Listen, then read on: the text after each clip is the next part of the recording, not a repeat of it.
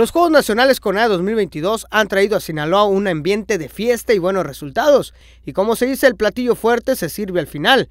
Sinaloa aún falta por recibir a los participantes de Taekwondo, quien a partir de esta semana estarán llegando a Sinaloa. Por su parte, la delegación de Taekwondo de Sinaloa se prepara con el objetivo de lograr medalla en todas sus categorías. Sinaloa es sinónimo de grandeza en esta disciplina, pues María del Rosario Espinosa ha puesto en alto a México y a Sinaloa. El entrenador de Taekwondo, Roberto Sierra, se mostró contento por el equipo que representará a Sinaloa, confiando en que puede lograr buena cosecha de medallas. Ahorita en este grupo tengo tres clasificados a los Juegos Nacionales y dos atletas que están previstos participen en los Juegos Nacionales en Cuba, que no clasificaron a, estos y van a, a terminar su ciclo allá en la Olimpiada Nacional Cubana.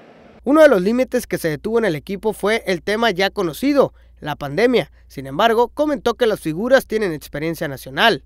Bueno, eh, Sinaloa tiene buen equipo. Eh, de hace unos años eh, obtuvimos récord de medalla. Desgraciadamente después vino el tema este de la pandemia y ese es lo que nos ha golpeado como estado, que Sinaloa fue uno de los últimos estados que empezó a competir después de, que se salió de este tema de la pandemia y eso nos, nos atrasó como equipo. Pero sí hay muchas figuras en el equipo que ya son campeones nacionales, que tienen experiencia de otros juegos nacionales. Y... Parte del equipo se siente con mucha seguridad y confianza para enfrentar la etapa nacional y es mejor estando en casa. Ahorita está muy bien, la verdad, la preparación aquí con el profe. Ya cada día nos sentimos más seguros porque estamos en, en terreno local ya se siente uno más preparado, como en confianza, así que en Sinaloa pues ya no estará afuera. para mí sí, porque no, no, me siento más nervioso cuando estoy fuera de la ciudad. Por último, Arlet Lara se dijo estar contenta de una buena preparación y que se encuentra lista para poner el nombre de Sinaloa muy en alto.